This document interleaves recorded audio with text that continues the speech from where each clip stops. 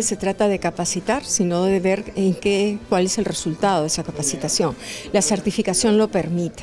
La certificación permite hacer un control de calidad del desarrollo de capacidades que pueda brindar una institución o varias instituciones y que tenga el, objetivo de que esas personas mejoren sus capacidades.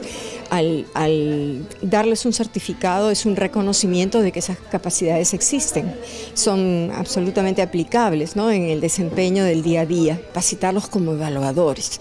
Esa capacitación tiene un promedio de 40 horas aproximadamente, más la parte práctica que ya es digamos, un poco más libre, pero que finalmente también importa porque cuando ellos vayan a hacer su evaluación, los instrumentos los vamos a revisar previamente para ver si efectivamente han captado ¿no? los lineamientos que la evaluación de competencias exige para que sea una, una evaluación objetiva, rigurosa, científica. Gobierno del Perú. El Perú primero.